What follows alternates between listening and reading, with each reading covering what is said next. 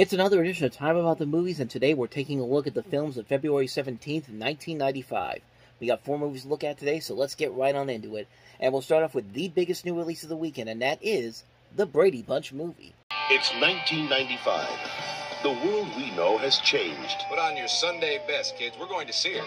but the Brady's Really? never will. Outside. With Mike, If your sister would wear her glasses, she just might improve her eyesight. Carol, Honey, I think you've stirred that enough. I'm not stirring. I'm looking for Kitty Karryall's underpants. Greg, This is a car, Jack. Of course this is a car. Uh, but my name's not Jack. It's Greg. Bobby, and Cindy. So why don't you hop back on the Swiss Miss package where you belong, huh? Okay. Peter, Lunch looks pretty rank. What'd you bring? Pork chops and applesauce. Jan, Hi, everybody. The new Jan Brady.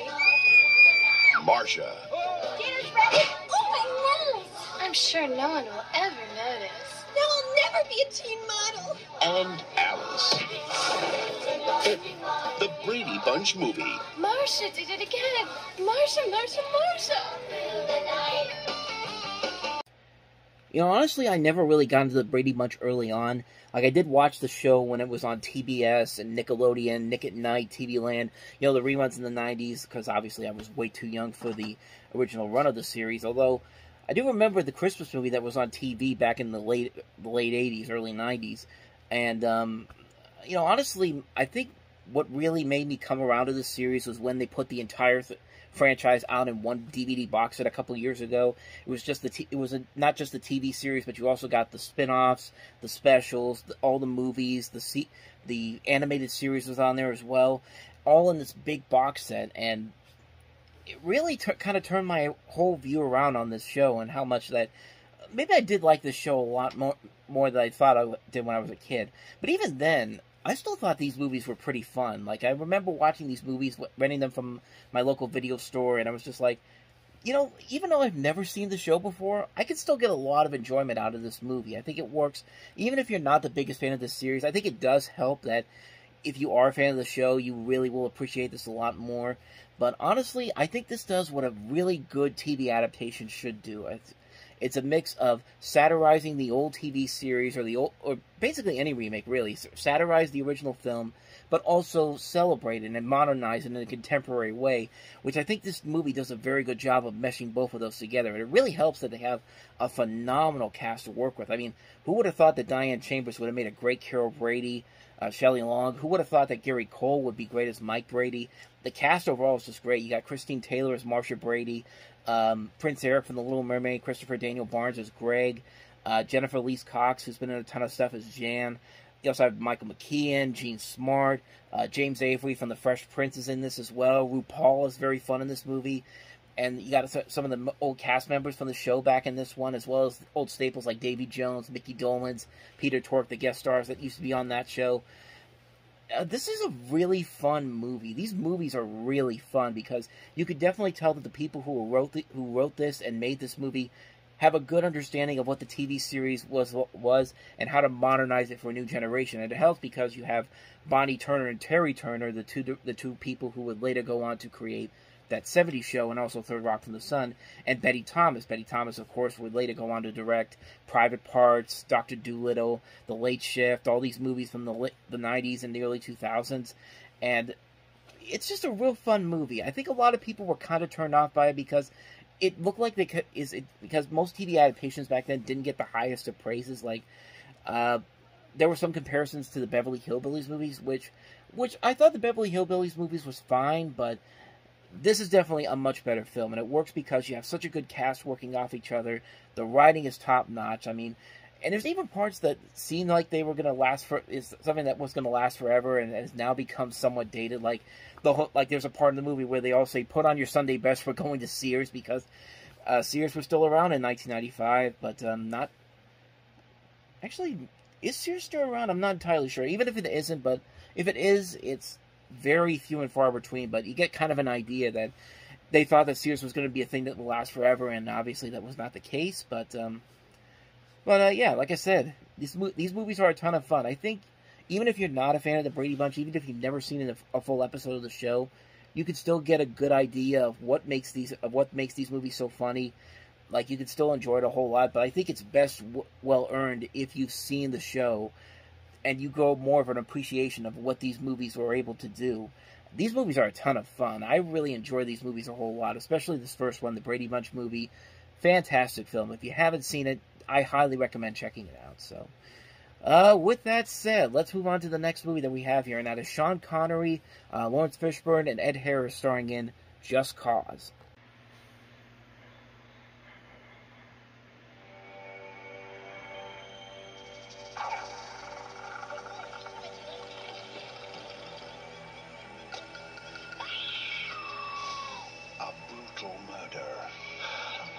Jody Schreider. I don't know. A forced confession.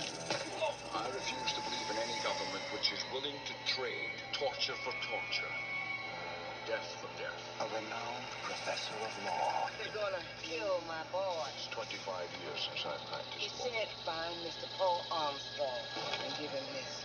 Driven by conscience to take the case. I knew Robert Earl was bad news first time I laid eyes on him. I don't hear any evidence. But we didn't need any. We had a confession. The guy's on death row. I want you to help him get his life back. The old girl said you was gonna be and I said no. Rachel, now if I really talked with that kind of verbal bucket shuffle, I'd be a free man today. What's your game? Did you kill Joanie Shriver? I didn't do it. But I know who did. Just read the signs. What signs? Seek, and ye shall find. Buried deep in the Florida Everglades is a secret that can save an innocent man Got 'em all fooled, don't you? You that know nothing Harvard fool. or free a killer Rejoice, for a great injustice is about to be undone. to kill again.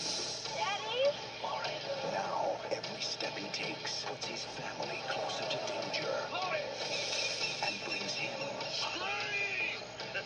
closer to the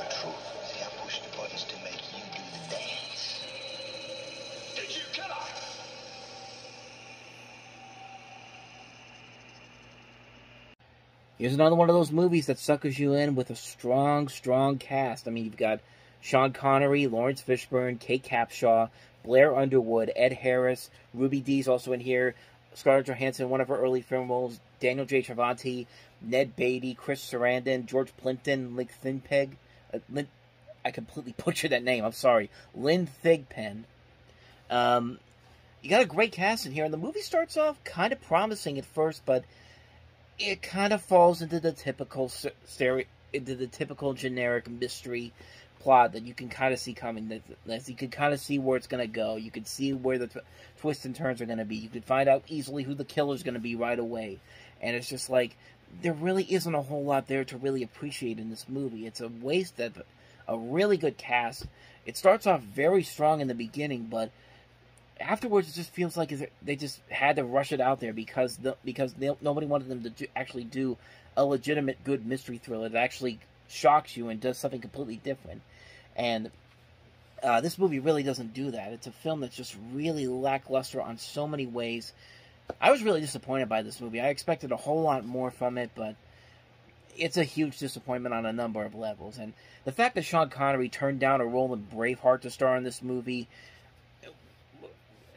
it's just some, it's just ridiculous. But um, uh, some other interesting casting things I see here. Will Smith was actually going to play uh, the the uh, the the guy who's in jail, the Bobby Earl Ferguson, who's played by Blair Underwood in this, and I mean, it could have been that could have been more interesting to see, but yeah, like I said, the fact that Sean Connery actually turned down the role of Brave in, Braveheart to do this movie is very underwhelming. But that's just kind of the way to to look at this movie. Very underwhelming. So, uh, with that said, let's move on to the next movie, and that is Disney's Heavyweights.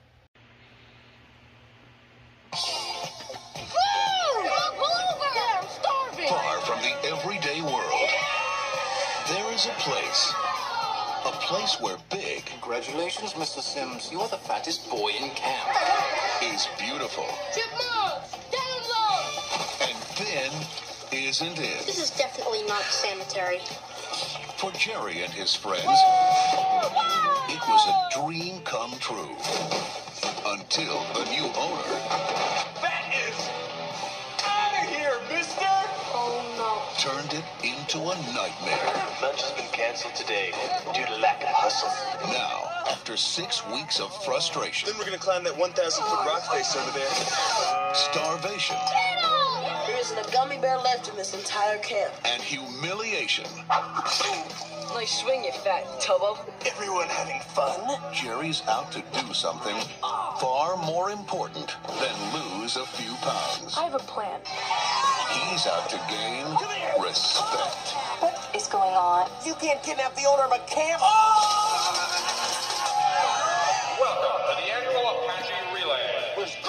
good as anybody.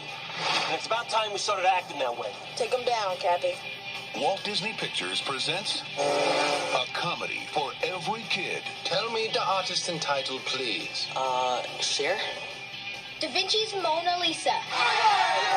Tired of taking it. I'm so slow. It would have been cool to go fast. and ready to dish it out. Heavyweights. Yeah, this is one of those movies where you really look back at it and you look at it and you realize, wait, Judd Apatow wrote this movie. Ben Stiller's in this movie too. Uh, you got Paul Feig in here, who's become a great, who's become a notable director since this movie came out.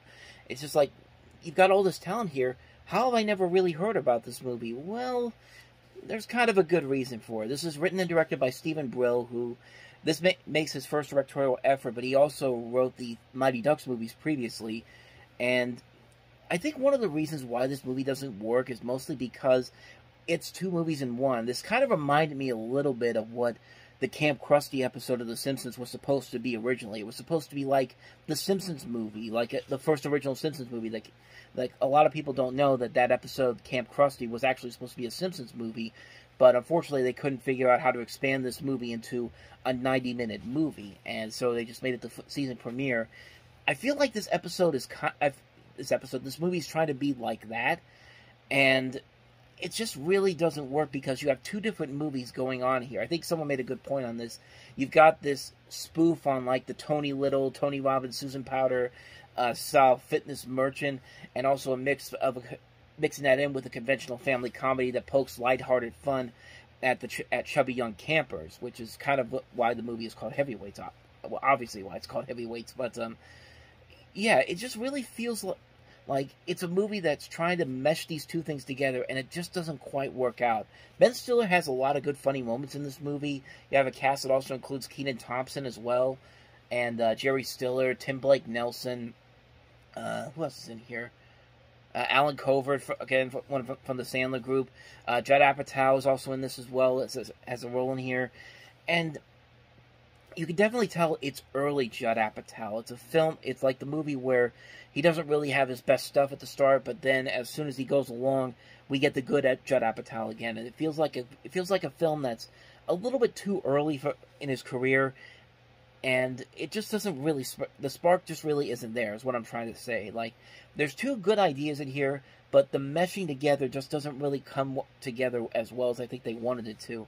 It's a movie that has a lot of good ideas, but not a whole lot of good execution. Uh, uh, it's a movie that I thought was I thought some parts of it worked okay, some parts were very, were actually really funny, but honestly, when I look back on it, it's a film that's kind of like I'm glad I saw it one time because honestly, I really don't have a full need to watch it again. Like I know some people do, but honestly, I feel like I feel like there was a lot of promise there, just not a whole lot of execution, and. Um, and for Judd Apatow, I mean, usually he doesn't make a ton of bad movies. This is probably one of his lesser movies, but I don't hate it. I've I've seen a whole lot worse from him, honestly, as especially recently. But um, we'll eventually get to those ones later on. So that's heavyweights. Let's move on to the last movie that came out this weekend, and that is the documentary "A Great Day in Harlem."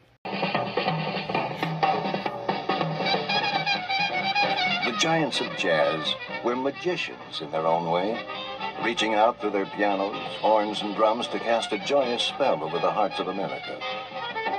And then one day, for what started as a publicity stunt for a magazine, 57 giants of jazz came together in one place at one time. It was a magical day that they would always remember and that you will never forget. It was a great day in Harlem.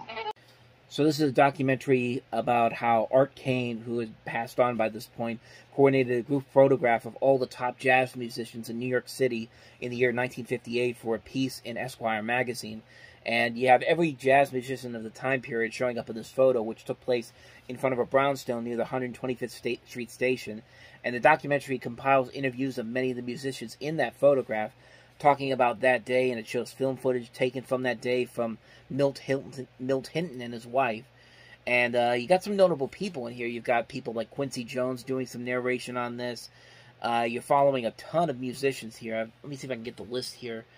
Uh, like as you can probably tell, I haven't seen this movie, so I can't really say too much about it. But there are some notable names in here: uh, Dizzy Gillespie, Sonny Rollins, Buck Clayton, Art Blakey, Hank Jones, Art Farmer, Johnny Griffin, Chubby Jackson, Scoville Brown, Bud Freeman, um, Thelonious Monk, Ernie Wilkins. Uh, Robert Benton has an uncredited cameo in here.